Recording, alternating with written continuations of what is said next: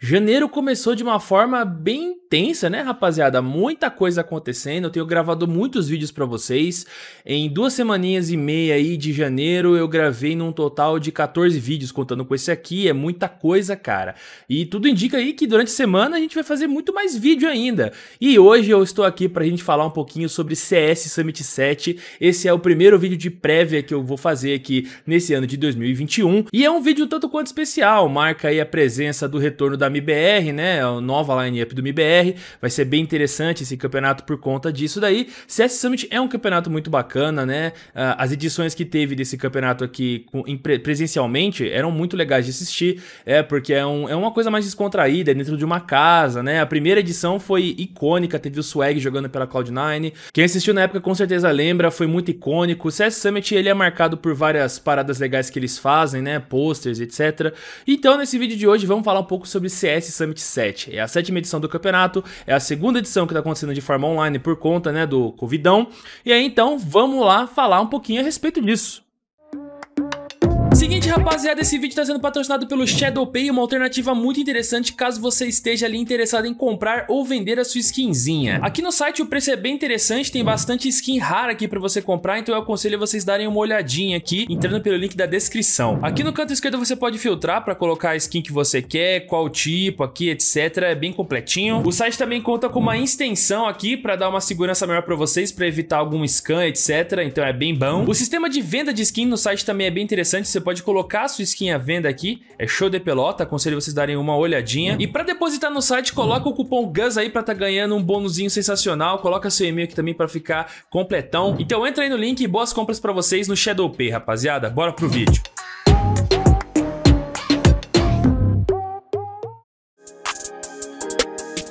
Muito bem, rapaziada, esse aqui que é a página do campeonato na Liquipedia, tá ligado? É a sétima edição aí da CS Summit, como eu comentei no começo do vídeo, é um campeonato muito bacana. Eles adotaram a logo aqui, ó, parecida com o do 007, mano, é sensacional. Os caras da Summit sabem fazer campeonato. Quem faz ele, né, é a The Summit, ela é conhecida pela Beyond Summit, etc, né, ela faz campeonatos de Dota, principalmente. Ele vai acontecer na região da Europa de forma online, vai ter um total de 200 mil dólares de premiação, vai acontecer entre os dias 25 e 31 de de janeiro, totalizando ali quase uma semaninha, né? Começa amanhã, segunda-feira e termina no domingo, dia 31. Conta com um total de 12 times participantes, que são esse aqui que tá na tela pra vocês. Cloud9, Complexity, Dignitas, FaZe Clan, Fnatic, Fúria, Heroic, MIBR, Mouse Sports, NiP, OG e a Virtus Pro. Cara, são times sensacionais de verdade. Provavelmente a galera deve estar tá ali sentindo falta de uma Navi, uma Astralis, por exemplo, uma talvez até uma Vitality, mas eu acho que não valeria tanto a pena aqueles caras participarem porque eles são times muito next level, tá ligado? Uh, os times que estão aqui participando com certeza vai dar muito pano pra manga, rapaziada. O, os jogos serão muito divertidos de assistir. E como eu falei pra vocês, marca né, a estreia da nova MBR, Cello, Yel, SHZ Bolts e o Danoco, é, mas também marca uma, algumas coisas interessantes. Por exemplo, aqui a Cloud9 já vem vir com o Shepa pra esse campeonato, ele já foi ali é, oficializado. Eu vou falar sobre ele no vídeo de amanhã, né, no vídeo de notícias da semana, mas a Cloud9 já oficializou o Shepa, então vai rolar a estreia. Uh, a Complex ele vai vir aí com o Jug novamente, né? O Poison, jogador da equipe, tá ali com problemas de saúde ainda, então uh, o Jug vem aí pra substituí-lo. O Jug, inclusive, que tem feito um bom trabalho, viu? P pela Complexity, a galera gosta de criticar ele porque ele tava pra se aposentar, até tava migrando, tava migrando pro Valorant. Mas aquela parada, cara, eu, eu gosto do Jug, eu achei que ele, ele encaixou bem na Complexity, ele tá, tá mostrando a que veio. A Dignitas, né, ela vem ali com o seu time já reformulado, da velha guarda que sobrou foi só o For Forest e o Freiburg na equipe. Mas uma coisa que pelo menos me deixa muito feliz é que eles voltaram com a logo antiga, velho. Ah, eu só tô puxando por essa logo, mano. Eu já, eu já falei isso pra vocês em vídeo, mas, mano, tô muito feliz. A FaZe Clan é aquela parada que eu já falei pra vocês, a diretoria de Carrey total. É, aqui na página da Liquipedia tá mostrando que o Olof não jogará o campeonato. Mas se a gente for na página é, da HLTV desse campeonato, eu vou mostrar pra vocês aqui, ó.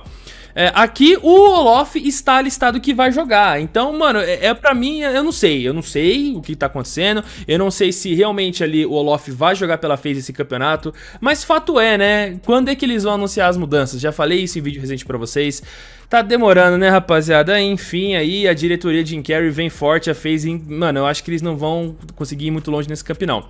Bom, o Fnatic pra mim ali vai jogar o primeiro camp com o Jackinho no lugar do Fluxa, então tá prometendo, eu quero ver como eles vão desempenhar. A Fúria já foi noticiado que o, o Júnior não conseguiu ainda resolver os problemas de visto dele pra poder ir lá pra Europa jogar com a Fúria, então, mas nesse campeonato aqui, o Honda vai jogar pela Fúria. Eu gostei muito da apresentação dele na Blast, então eu também tô ansioso pra ver o Rondinha aqui com a Fúria, tá ligado? Na CS Summit. Herói, que é um time que desempenhou muito bem no ano passado, teve uma ascendente muito bacana, vamos ver se isso continua pra cá.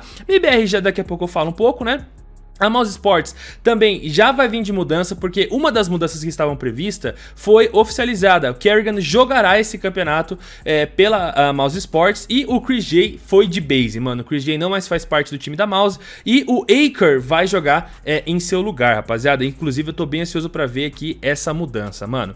A NiP é um time também que é muito 880, tem dia que joga bem, tem dia que não joga tão bem, vamos ver como eles vão desempenhar. O OG é um time que pra mim é muito bacana também, é um time legal, também tô ansioso. E a Virtus Pro igualmente, rapaziada. Time da região CIS, sensacional. Os times ficaram divididos em três grupos de quatro times cada um, né, totalizando 12. E o formato do campeonato funciona da seguinte maneira, rapaziada. Todas as partidas são MD3, os dois melhores de cada grupo já vêm aqui para os playoffs. O terceiro colocado de cada grupo vem aqui pro Last Chance Stage, né? E a última vaguinha do Last Chance, ele é um pouquinho confuso de entender. É, serão quatro times que vão para lá, três de cada grupo. E a quarta vaga, ela vai vir ali do cara que for menos pior, se a gente pode dizer, é, dos três grupos, entendeu? Quem tiver a melhor pontuação dos três grupos também garante uma vaguinha no Last Chance Stage. É um pouco complexo, um pouco, um pouco confuso de entender, mas é mais ou menos assim que vai funcionar, rapaziada. Como vocês bem sabem, os jogos começam a partir de amanhã, segunda-feira, às 10 horas da manhã. Serão duas MD3 por vez, é jogo o dia todo pra rapaziada. E assim, cara, sobre transmissão brasileira desse campeonato, eu não sei ainda se vai ter transmissão do Galgal. Sei que a galera gosta bastante de ver o Gaules transmitindo, né? Eu não sei se ele vai transmitir a, Beyond the Summit, né? CS Summit 7. É, eu sei que a Beyond the Summit Brasil transmite os campeonatos da CS Summit, então eu não sei se vai rolar a transmissão. É, fiquem atentos no meu Twitter, quando eu souber se vai ter transmissão brasileira e quem vai transmitir, eu comento lá no Twitter pra vocês, manos. Bom, a partir então das 10 horas da manhã de amanhã, nós teremos OG contra Dignitas e Fnatic contra Complexity, mano. Aqui, esses jogos de estreia pra mim são interessantíssimos, cara, eu tô muito curioso pra ver a Dignitas jogando tal. Embora eu acredite que a OG vai conseguir a vitória por dois mapas a zero, pra mim é um jogo já que vai ser bem interessante, bem bacana. Fnatic contra Complexity pra mim vai ser um jogo mais pau a pau, mais pegado, como eu já falei, tô ansioso pra ver a entrada do, do Jackinho na equipe, então é, assim eu, eu acredito então que a Fnatic consegue a vitória em cima da Complexity mais pegado por 2 a 1 Depois às 1h30 da tarde nós teremos mais duas MD3 e ironicamente falando, FaZe vai enfrentar a Mouse Sports, rapaziada. As equipes aí que estão disputando entre elas pra pegar o Kerrigan e tal, né, vão ter que se enfrentar e eu acredito na vitória da Mouse por dois mapas a zero em cima da FaZe, tá, meus queridos amigos? E aí, a 1h30 nós teremos a estreia da MIBR nova, mano, MIBR contra Heroic e aqui cabe agora a minha opinião a respeito do MIBR, se eu acho que eles vão conseguir ir longe lá no, nesse campeonato, rapaziada. É, é, uma, é uma pedrada interessante, tá ligado? É um campeonato que, que já vai ter que, eles vão ter que provar pra nós aqui veio. É, pelo que eu sei, uh, os treinos que eles estão fazendo têm dado bons resultados, eles estão conseguindo de vencer é, os times grandes lá de fora, perderam ali pra Liquid recentemente em treinos, etc. Mas é um time que tá desempenhando legal, tem treinado Trem, tem treinado Dust 2. Dito isso, a gente meio que tem uma ideia na cabeça de que esse time, ele é menos competente, vamos assim dizer, que o time que tava representando a MBR lá no ano passado, né? É um time menos esquilado, vamos assim dizer. Mas conta com bons nomes, conta com jogadores com experiência internacional. E assim, rapaziada, eu não acredito que eles vão conseguir ser campeões desse campeonato, tal, etc. Mas pelo menos uma canseirinha eles vão dar. Amanhã, esse jogo contra a Heroic, que foi uma das melhores equipes do ano passado, já é uma baita prova de fogo. Eu quero saber se eles vão conseguir aí desempenhar bem. Eu tô ansioso pra ver a estreia, então marquem aí no relógio, 1h30 da tarde, Heroic contra a MBR.